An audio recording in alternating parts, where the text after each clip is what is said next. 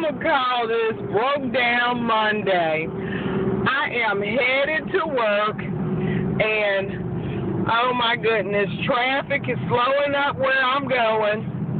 And to top it off, that's how much gas I have. I have lost my mind to only have that much gas. I don't know if you can see that, but it's not much. And then listen, I left my shades at home and so this is the shade I'm wearing this morning. Can you see that look? oh, all of this thing is gone. I got one one thing holding up. I hope you can see that. I ain't got no sense. Look, it's gonna be all right though. Look at traffic.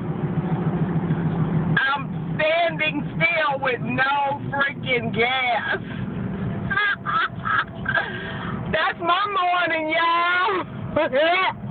it's wild and crazy.